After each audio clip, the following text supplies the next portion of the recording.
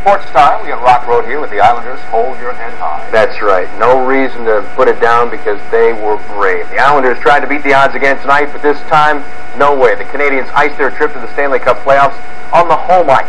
Just 58 seconds into the game, former Devil Kirk Muller gave Montreal a quick lead as he beats Glenn Healy with a backhander to make it one to nothing.